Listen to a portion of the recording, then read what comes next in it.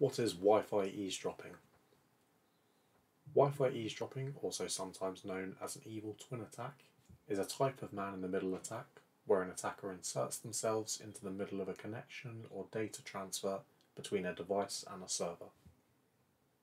They're used to steal personal information such as bank details, card numbers, login credentials, and gathering passwords for users' accounts, just to name a few. Let's have a look at how they work.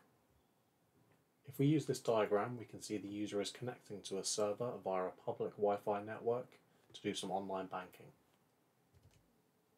They send a request to the server, and the server sends back the requested data as expected. A hacker will intercept the data by creating a free public Wi-Fi network that appears genuine.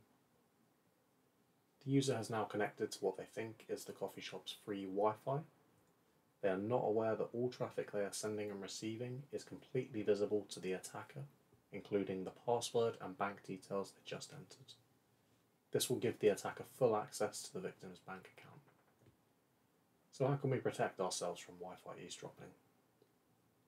The most effective way is to never use public Wi Fi networks for any confidential or sensitive tasks, including social media or banking.